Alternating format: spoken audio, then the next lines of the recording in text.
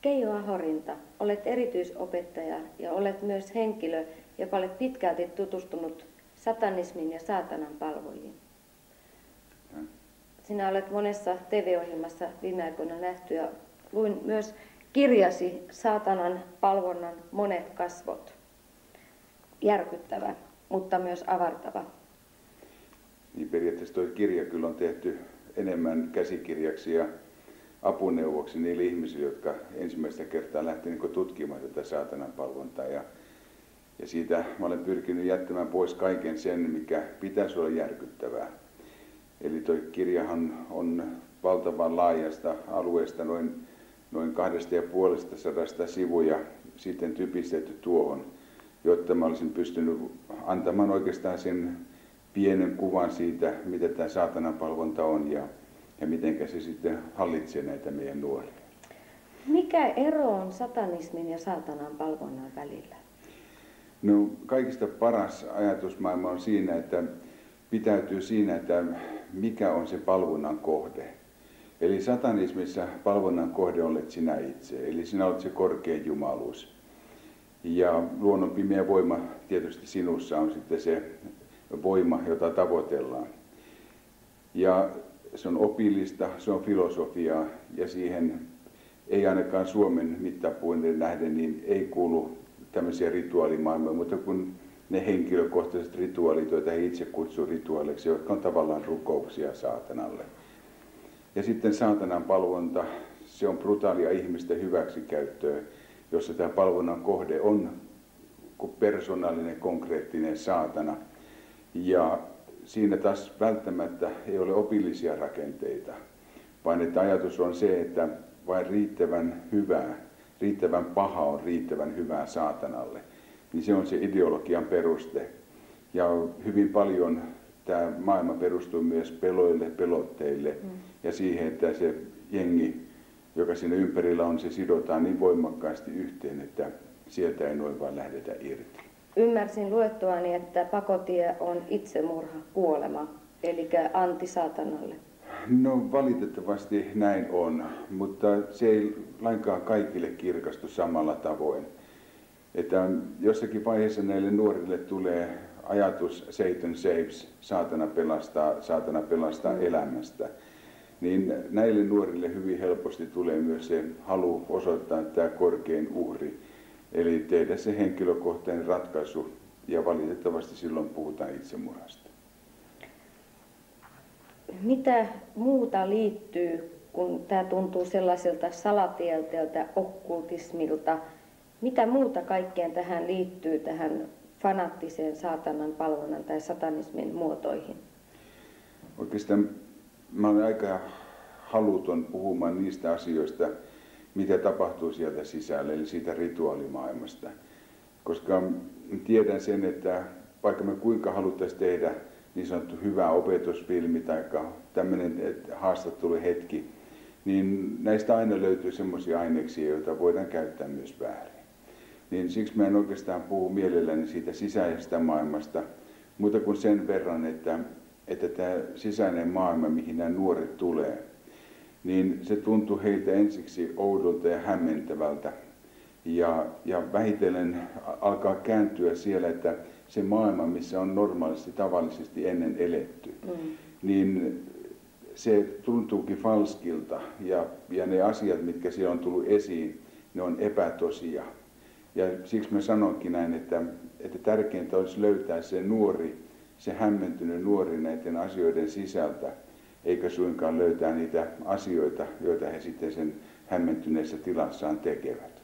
Mutta ihmisiä kiinnostaa se, mitä se todellisuus on, koska jälkitiedetään kuitenkin, että moni nuori, joka selviää tästä, niin he joutuu pitkäänkin psykiatrisen hoitoon ja, ja eri tukihenkilöiden henkilöiden ja jotkut kääntyvät jopa uskoon sen takia, että he pääsevät eroon tästä voimakkaasta kultista riittielämästä. Mitä luin, niin tuntui aika pahalle kirjastasi. Tuotiin selkeästi esille muun muassa sitä, että minkälaista on, kun vihitään saatanalle. Luen pienen pätkän tästä. Tässä tuodaan julki se, että on amfetamiinia, speedia, vauhtia, piriä, mitä, millä nimellä kutsutaankin, käytetään. Ja tässä lukee näin, että vihkiminen muistuttaa äärimmäisiä seksuaaliorkioita, joissa jokainen yhtyy toiseen. Ylipapin etuokto-oikeudella tämä tarkoittaa vihkimisen yhtymällä riitin kliimaksen aikana initioitavaan. Orkasmin aikana purkautuvassa energiavirrassa ylipapi luovuttaa vihittävän saatanalle. Sen jälkeen alkaa letkajenka, jonka aikana jokaisella on oikeus yhtyä kenen kanssa hyvänsä. Papitar, joka on hierarkiassa toisella tasolla, on vain ylipapin yksin yksityisomistusta. Hänellä on oikeus kieltäytyä yhdynnästä alempiarvosten kanssa. Ja jos mennään siihen, että tällaisessakin on mukana hyvinkin nuoria ihmisiä, alta kymmenen ikäisiä ja päälle, päälle sen ja murrosikäisiä nuoria, kyllä se siltä tuntuu, että mitkä kaikki keinot voisi nuoret auttaa tällaisesta irti ja milloin vanhemmat huomaavat, että heidän, mitkä on ne ulkoiset tunnusmerkit, että nuori on muuttunut? Ensinnäkin pikkusen kommenttia tuohon tähän seksuaaliriittiin, mikä tuossa on. Tämä yleensä on riitti, joka tapahtuu aikuisempien ihmisten tämmöisen initiaatiomenojen yhteydessä. Ja lapsilla on sitten tietysti toisenlaiset ja nuorimmalla on, on toisenlaiset initiaatiomenot, eli verivalat ja siihen liittyvät asiat. Eli viilellään. Ja... Esimerkiksi, mutta nekin on sellaisia, että siinä hyvin helposti tulee sellainen tietynlainen muonti-ilmiö. Eli halutaan puhua tai halutaan kokea enemmän ja sitten lähdetään tekemään näitä viiltoja.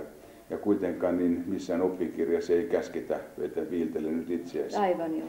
Mutta se tulee sieltä sisältä.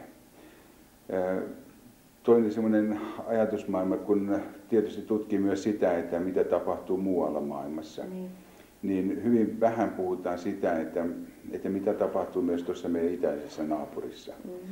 Ja nyt muutamien vuosien aikana olen saanut seurata siellä tapahtuvaa tällaista tutkimusta ja, ja siellä puhutaan myös tämmöistä samanlaista seksuaaliriitistä kuin meillä. Mm. Meillä se nimi on letkajenka, mutta Pietarissa se puhutaan, että, että siellä on ummehtunut ilma. Mm-hmm. Mutta kuitenkin samanlainen seksuaaliriitti ja samanlainen maailma. Että se on aika merkityksellistä on se, että että nämä kaikki ei ole suinkaan suomalaisia keksintöjä tai pohjoismaisia keksintöjä, Joo, vaan että, että tämä on ympäri koko maailmaa. No sitten näihin vanhempiin, mitä, mistä vanhemmat voisivat huomata sen, että lapsesta tulee saatanan palvoja. Se ei ole ensinnäkään mitenkään yksilitteistä. Mm-hmm. Ja siihen on monta monta syytä, mutta yksi niistä tärkeimmistä syistä on se, että miksi ensinnäkään vanhemmat saavat tietää sen viimeiseksi, johtuu siitä, että kun mä olen elänyt tuolla meidän Rauman kadulla ja mm-hmm. jakanut aikani siellä nuorten kanssa, niin siellä tuli aivan selvästi tuli ilmi se, että, että jos joku kaveri on sammuneena lumihankkeen, niin. niin varmasti häntä ei sinne jätetä, vaan hänet rahataan sieltä suojaan lämpöiseen hoitoa saamaan. Mutta se, että minä isänä, jos mun lapseni sammuu tuolla Bronxin edessä tai missä tahansa tuolla kadulla, niin en minä siitä koskaan saa tietää. Koska nämä nuoret ikätoverit ajattelevat näin, että toveria ei petetä. Suojellaan. Kyllä. Ja jokainen meistä, varsinkin tämmöisellä kalkkisiän vanhemmista, niin me tiedetään se omasta kokemuksesta, että mihin se suojelu menee. Ja se johtaa siihen, että ongelma syvenee ja, ja sitten taas se, että on hurjan vaikea enää sitten saavuttaa niitä ihmisiä, että me ollaan tällä tavoin suojeltu pilalle. Mm. Ja siksi mun viestini nuorille kuuluukin se, että, että jos me niin halutaan rakastaa ja välittää omasta toveristamme, niin osa siitä kuuluu myös sitä hyvän, hyvänä pitoon ja huolenpitoon kuuluu se, että, että me voitaisiin puhua siitä asioista isille ja äidille, vanhemmille. Mm.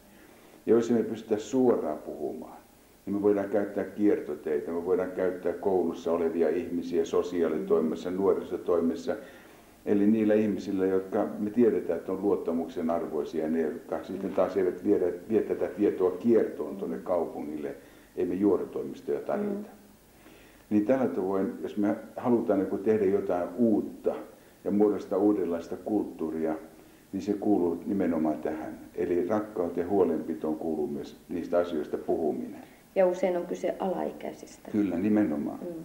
Ja sitten vielä muistuttaisin sitä, että lastensuojelulaissa aivan selvästi sanotaan, että, että meillä ihmisillä, jotka teemme työtä myös nuorten kanssa, mm. niin meillä on myöskin eh, lastensuojelulain mukainen ilmoittamisvelvollisuus. Mm. Eli puhua siitä sitten sosiaalitoimen ihmisille ja, ja siitä sitten eteenpäin.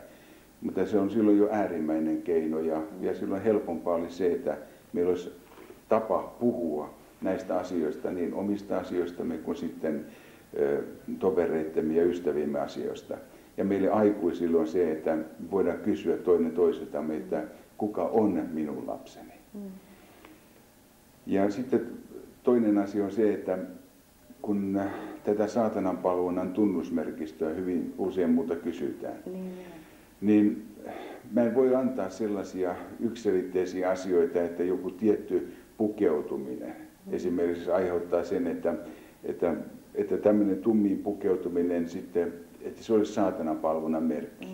Tai että joku nuori kulkee ristipäärinpäin kaulalla tai on pentagrammeja tai on tatuointeja, niin ei tämä ulkoinen tee kenestäkään saatanan palvoja, mm. vaan se sisäinen maailma. Ja silloin olisikin tärkeää se, että että kun me perheessä, niin eihän me haluta uskoa omasta lapsestamme mitään pahaa. No ei yleensäkään. Ei, en minä ainakaan. Mm. Ja en usko olevan sinne mitenkään erikoinen. Niin kaikista paras tunnusmerkki, mikä saatanan palvonnasta on, mm. esimerkiksi jos saatanan palvontaa tulee meille tänne Raumalle, niin ikätoverit huolestuu tästä nuorista. Mm. Ja nyt jos meillä on tämä kulttuuri, että me suojellaan ja ei haluta viedä sitä viestiä eteenpäin, niin ei me aikuiset sitä tietoa saada. Mm. Ja sitten saattaa siellä kotona tapahtua jo paljon sellaista, mikä esimerkiksi mun silmissäni saattaisi jo olla jo merkki siitä, että mä lähtisin kysymään tältä nuorilta, että kerro mulle mitä tuo tarkoittaa. Mutta kun mä luin, luin tätä ja sitten myös käytetään mustaa raamattua, raamattua tässä, tässä riiteissä ja muussa. Ja kun mä luin näitä kirjoja, niin sieltä tuli selville kyllä se, että niistä ei todellakaan saa puhua sitten se kosto on niin suuri ja julva. Jopa perheen jäsenet joutuvat vaihtamaan nimensä ja muuttamaan paikkakuntaa ja, ja muuta, että pelastetaan tämä nuori.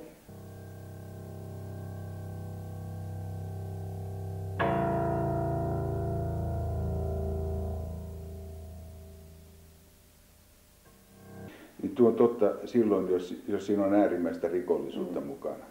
Niin silloin ei tämmöinen toiminta poikkea mitenkään mafiatyyppisestä toiminnasta. Mm. Ja silloin tämä pelotteet ja, ja nämä uhat, mitä äsken tuossa mainitsit, niin ne on totta siinä maailmassa. Mm. Aivan samalla tavoin kuin huumeiden käyttö maailmassa on, on omat lainalaisuudet, samalla tavoin saatananpalvelujen maailmassa, silloin kun siihen liittyy rikollisuutta, niin se on aivan juuri tuota. Mm.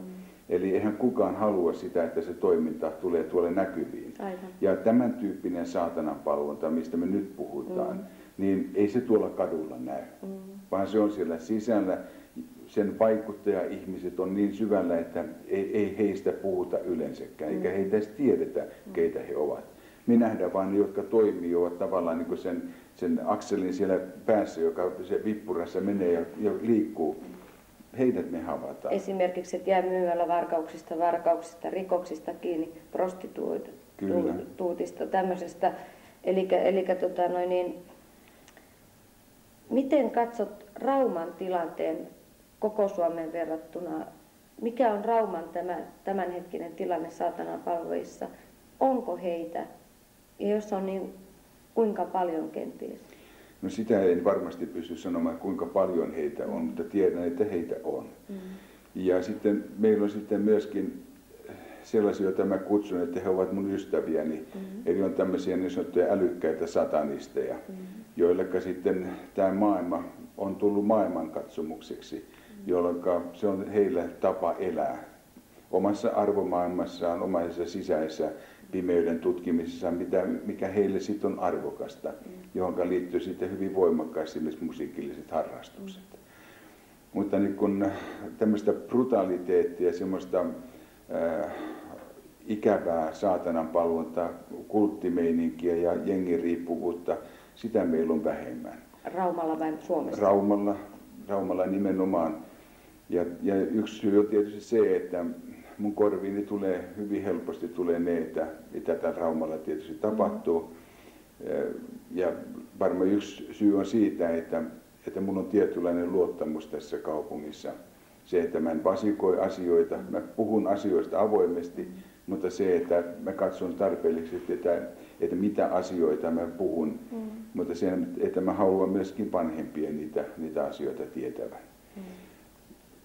Tämä Suomen laajuus sitten, niin lukumääräisesti en siinäkään halua ottaa mitään kantaa, koska se on tosi vaikeaa. Mm. Mutta tiedän sen, että se on ihan ympäri koko Suomea tämä levinnyt tämä ideologia tai toiminta. Ja jos ajattelet, että mä oman toimen ohessa vuosittain ajan tuommoisen 70-80 000 mm-hmm. kilometriä, niin silloin tietää, että silloin tämä Suomi käy aika pieneksi. Kyllä. Ja, ja tämä on osoitus siitä, että miten, miten tätä, tästä tietoa halutaan. Koska mä en markkinoi itseäni mitenkään, että, että mulle tuolla lehdissä ilmoitus, että mm. tilakkaa no ahorina kekee. Mm. Vaan että valitettavan usein mä joudun aina paikalle silloin puhumaan siitä, kun on jotain jo tapahtunut. Tapahtunut, mm. joo. Ja mielelläni soisin sen, että voitaisiin ennaltaehkäisevästi näitä asioita käsitellä. Nuoria on helppo taivuttaa. Ei paljoakaan tarvitse, kun nuori viehtyy tällaisen salamykkäiseen toimintaan. Ei etenkin, voitko ajatella, että minkälaisista kodeista lähtöisin on nämä nuoret? Onko siinä mitään mallia vai onko heitä mistä tahansa lääkäriperheistä, Kyllä. kirjailijoista? Tuo on äärettömän hyvä esimerkki, mikä otit. Niin. Siis me ei voida tehdä mitään semmoista tietynlaista luokittelua, että se tulisi jostakin tietystä eh, ensinnäkään ikäryhmästä mm. tai sitten sosiaalitaustasta. Mm. Tämmöistä ei voi olla, tai tämmöistä en, en ole voinut nähdä. Mm. On tietysti nuoria, jotka on alttiimpia tähän. Se on mm. aivan varma. Eli sellaiset, joilla, joilla on tavallaan niin kuin tämmöinen syrjäytymisen alku on olemassa jo, mm. jotka sitten ovat väsyneet siihen, että tämä yhteiskunta, mitä me jokainen sitten ollaan rakentamassa ja muodostetaan, mm. niin se yhteiskunta ei pystynyt antamaan heille turvaa ja, ja periaatteessa tulevaisuuden toivoa. Ja, ja tällä hetkellä, kun jos me mietitään, että keitä nämä on, niin nämä on nimenomaan tämä meidän nuoret tällä mm. hetkellä eihän me aikuiset, meillä suht koht hyvin meillä menee, mm. mutta esimerkiksi meillä Raumalla nuorisotyöttömyys hurjan suuri. Ja sitten, että, että meillä, meillä ei vieläkään kuunnella riittävästi nuoria, siitä huolimatta vaikka meillä on nuorisoparlamentti, mm. joka toimii ja, ja mun mielestä niin äärettömän hyvä lähtökohta on ollut jo tällä. Ja, ja näytetty myöskin, he, he ovat näyttäneet kynteessä, että mm. heitä tarvitaan. Mutta kuitenkin meillä ei ole riittävästi vielä sitä, että me ei kuunnella nuoria. Ja ja sitten mikä vielä niin semmoinen yhteinen tekijä näille kaikille nuorille voisi olla se, että on tapahtunut joku semmoinen tietynlainen kyllästyminen siihen ideologiaan, mitä me kannatetaan. Ja, niin aivan. ja toinen vielä suurempi syy on se, että me kannatetaan sitä falskisti. Mm. Eli meillä on tietynlainen aatteettomuus Eli me ei pystytä rehellisesti niin kun sanomaan sitä, mitä mieltä me ollaan. No onko se niin, että me neuvomme, mutta toimimme itse toisin? Eli tämä, emme anna esimerkkiä. Oikein, tämä on yksi niistä. Mm. Ja, mutta kuitenkin tämä nuori on kuitenkin ajatteleva yksilö. Mm. Ja ei he pidä meitä aikuisena minnekään mitenkään semmoisena pyhimyksinä, mm.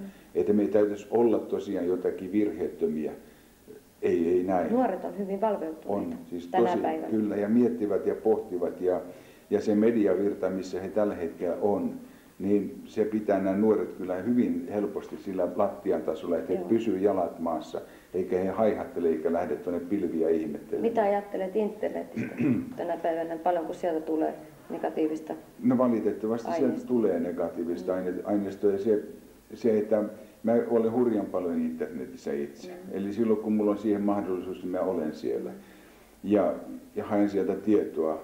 Ja myöskin mä haen nimenomaan sieltä web-sivuilta, mikä on niin tuo dark side ja, ja, ja olen siellä ja surfailen. Eli mä voin käyttää sitä negatiivista myös, mitä sieltä tulee. Mä voin käyttää sitä hyvää. Mutta valitettavasti sitten suuri osa siitä tiedosta, mikä siellä on, niin se on esitetty kritiikittä. Mm. Eli aivan nuori joutuu itse oikein, sen päättelemään. Oikein. Ja sitten jos nyt on se, että sulla tulee kritiikitön tieto, joka osoittaa, että se maailma, mistä sä oot nyt tällä hetkellä lähtöisin, eli tästä äh, turhanpäiväisyydestä ja tästä falskiudesta. Ja, ja siellä osoitetaankin nyt, että joo, että sehän on harhaa, missä sä oot elänyt, vaan että tämä saatanallinen todellisuus, se on jotain. Mm. Niin tämä nuori hämmentyy sen tiedon sisällä. Ja jos ajattelet vielä mua itseäni, kun 88 lopulla mun elämäni tuli ensimmäinen saatanan palvoja. Mm-hmm. Ja, ja mulla ei ollut pienintäkään tietoa siitä, että mitä saatanan palvonta on. Mikä oli ensireaktio? Mun ensimmäinen reaktio oli se, että apua mä en pysty tekemään tämän nuoren kanssa yhtään mitään. Niin, ei ole tietoa. Ei ole minkäänlaista tietoa. Ja sitten ajatus oli myöskin se, että mitä hän itse toi. Että, että hän sanoi näin, että tästä jengistä ei pääse muuta kuin kuoleman Aivan. kautta. Niin se pysähtytti, se, se pisti mut täysin hämille. Ja sitten mä lähdin hakemaan tietoa. No ensimmäinen tieto, mitä mä sain, oli se, että mä sain nämä amerikkalaisia tutkimuksia, joissa sanottiin näin, että ne on hulluja kaikki, mielivikaisia. Mm. Eli siellä ei tervejärkisyyttä löydy lainkaan. Ja nyt kuitenkin se nuori, jonka kanssa mä olin elämän oppinut jakamaan hänen kanssaan niin muutamat hetket vuoden verran, mitä mm. mä olin tuntemaan häntä, niin en mä voinut sanoa, että hän on hullu. Mielenvikainen. Niin, ei missään Joo. nimessä. Hän oli varma maailman erilainen.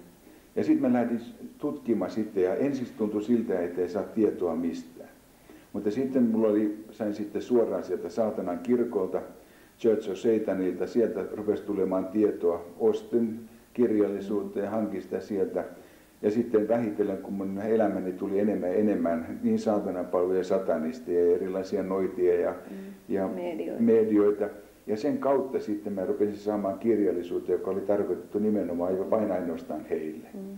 Niin sitten mun rupesi tulemaan riittävästi tietoa, joka oli sen oikean suuntaista. Pelkäsitkö itse sen tiedon tulvaa? Pelkäsitkö, että muutut? Mä en pelännyt sitä tippaakaan, koska itse asiassa mä olin niin sisällä siinä, että, että mä en havainnut tippaakaan itsessäni minkäänlaisia muutoksia. Kunnes sitten yhtenä kauniina kesäpäivänä sitten tuo vaimoni, jota, joka sitten tätä myöskin katsoi tätä ohjelmaa, niin, mm. niin hän sanoi mulle näin, että, että etkö se äijä huomaa. Että susta on tullut pahempi kuin ne, ketä sä tutkit. Eli siis se maailma, missä, missä mä elin, opin saamaan lisää tietoa, opin äh, tavallaan ihmettelemään sitä brutaliteettia. Ja, ja, ja miksi, se, miksi se brutaliteetti on sellainen, joka imee sitten tällaisen nuoren. ja, ja viekoittaa. Kyllä. Pysyvästi. Nimenomaan. Ja, ja sitten vielä se, että, että jos se vie ihmisen, aikuisen ihmisen, joka tarkoituksena on tehdä tieteellistä tutkimusta, niin herätän sen kysymyksen, että, että miksi sitten se ei viekottele sitä nuorta, joka lähtee siitä omasta aatemaailmastaan. Joka on vielä Oikein, maailma. Kyllä, ja, ja vielä pettynyt siihen, mitä me edustetaan ja siihen ideologiaan. Niin ilman muuta se imee sen tiedon, mikä siellä faktana tulee ilman kritiikkiä. Niin se on se, miksi nämä nuoret ovat niin äärettömän syvällä tässä maailmassa. Ymmärsit, ymmärrätkö nyt sen tilanteen, kun vanhemmat kääntyy sinun tai jonkun muun tahon puoleen. He ovat yhtä tietämättömiä. Kyllä. Tämä on todellinen uhka monille perheille, että tällaista tapahtuu. Onko jotkut vanhemmat välinpitämättömiä, eivätkä halua nähdä, vai tottuvatko he näkemään kaikkea? Mikä sen tekee, ettei ajoissa tartu lapsen ja kysy, mikä sinulla on? Varmasti suurin syy on se, että ei havaita niitä merkkejä, koska ei haluta uskoa siitä lapsesta mitään pahaa. Joo. Siis jos ajatellaan niin välinpitämättömyyttä, niin se on loppujen lopuksi niin suuri syytös vanhempia kohtaan. Mm-hmm. Niin mä en usko näin, että, tai mä en, mä en voi rehellisesti sanoa, mm-hmm. Että ne aikuiset, jotka mä oon oppinut tuntemaan, ne isät ja äidit tämän asian takana tai lapsensa rinnalla, niin en mä voi sanoa, että he on ollut välinpitämättömiä. Aivan. Vaan se, että he ovat joutuneet vähitellen menemään syvemmälle ja syvemmälle sen lapsensa kanssa. Mm. Aivan samalla tavoin kuin narkomaani äiti ja isä Aivan. menee sen lapsensa kanssa siihen samaan maailmaan. Heille tulee samat Kaikilla pelot, tuska. kyllä, pelot ja tuskat tulee sieltä sisältä. Se on aivan sama kuin sillä nuorilla. Ja samalla tavoin tässä saatanan palvelujen maailmassa, niin se vanhempi, vanhemmat menee tavallaan hyväksymään tietynlaisia asioita, tietynlaisia ensimmäisiä ilmiö, ilmenemismuotoja, tavallaan ikään kuin ne kuuluisivat nuorisokulttuuriin. Tai ikään kuin saatanan palvonta olisi jotain nuorisokulttuuria. Mm. Mä en ensinnäkään, mä en pidä sitä nuorisokulttuurina, Joo. Koska tämä raapasee vain tiettyä osaa, hyvin pientä osaa onneksi. Siis mm. Siis tämä on ääriilmiö. Sitä ei saada koskaan unohtaa, mm. vaan että meillä on 99 prosenttia mm. nuorista, meillä on tosi mahtavia. On. Ja nämäkin nuoret, jotka ovat tässä sisällä, ei heitä voi sanoa, että he ovat kunnottomia, ei. vaan he ovat eksyksissä. Mm. Niin nyt kun tätä lähdetään katsomaan tätä, sitä aikuista siellä sisällä ja aikuista siitä ihmettelemässä tämän nuoren kanssa, niin sitten kun heillä alkaa tulla selväksi se, niin. että, että mitä tämän saatanallisen musiikin, sen kirjallisuuden, sen toveripiirin vaihtumisen, ehkä kokonaan aatemaailman käsitteistön muuttumisen niin. takana onkaan, niin sitten kun nämä vanhemmat lähtee hakemaan apua, niin ei ne katso kelloa, milloin ne lähtee hakemaan ei apua. Ja sitten toinen on se, että mä haluaisin kannustaa nimenomaan siihen, koska me, jotka ollaan lähdetty tekemään työtä tässä saatanapalvontatyössä, eli Aivan. tukemassa vanhempia nuoria tässä irtautumisessa, tai sitten kun minä teen vielä myös tätä, puhun tästä asiasta, niin kyllä mä kehottaisin nimenomaan siihen, että olko se kello mikä tahansa, niin silloin otetaan yhteyttä niihin ihmisiin, jotka me tiedetään, että tämän asian kanssa, niin, että silloin eikä se ole kenenkään häpeä. Ei se voi olla kenenkään häpeä, että nuori joutuu eksyksiin tässä asiassa, nimenomaan tässä mediavirrassa. Tarjonta on paljon. Oikein. Niin silloin se ei voi olla niin, että, että kun se isä äiti katsoo omaa kuvansa siellä peilissä, mm. että se mm. näkee syyllisen. Mm. Ei, ei niin ole. Vaan se, että se nuori joutuu ikään kuin eksyksiin nimenomaan mm. sen tiedon kanssa, mitä he on lähteneet hakemaankin ehkä. Ja se on ottanut heistä yliotteen. Vielä ennen kuin, ennen kuin päätetään tämä ohjelma, niin Mä luin, että saatanan kirkko on perustettu vuonna 1966 ja 96 se täytti 30 vuotta. Ja tämä kirkko on laillistettu. Kyllä. Siis se on täysin laillinen kirkko veronkanto-oikeuksineen ja, ja julkaisuvapauksineen Yhdysvalloissa. Suomessa ei ole tällaista saatanan kirkkoa perustettu. Se on ollut kyllä joskus perusteilla, mutta se ei ole koskaan tullut julkiseksi kirkoksi. Aivan että nuoret sitten kokoontuu omissa piireissään. Kyllä, ja... mutta se ideo, ideovirta, mikä täällä on, eli OLHP, Operation of the Left Hand Path tai All the, all the, all the Left Hand Path, mm-hmm. niin, niin se on se ideologia, joka yhdistää näitä nimenomaan satanisteja. Mm-hmm. Ja puhutaan silloin tämmöistä niin sanotusta ortodoksista satanismista. Mm-hmm. Eli siihen liittyy taas tämä luku 666 tai FFF, Joo. kirjaimet. F on aakkosten kuudes kirjeen ja siitä tulee, kun on niitä 666. Eli Alistair Crowleyhan lähti nostamaan tätä 666, eli koska hän halusi olla maailman pahin ihminen, koska hänen äitinsä oli sanonut, että sinun täytyy Alistair olla maailman pahin ihminen, koska, koska sinä olet noin paha. Ja silloin hän vertasi omaa lastaan sitten tähän ilmestyskirjan petoon. Mä ajattelin, että kyllähän se sieltä löytyy. Ilmestyskirjasta löytyy myös tämä luku, Kyllä, sieltä, sieltähän se on mutta kuka osaa se sitten oikein lukea? Aivan. Mm, minä en kuulu niihin. Mm. Mutta onneksi kuulut niihin, että voit auttaa monia ihmisiä. Toivottavasti teetkin niin ja saat mahdollisuuksia siihen. Ja oikein paljon kiitoksia vierailusta täällä. Kiitoksia oikein paljon, sain tulla. Kiitos. Kiitos.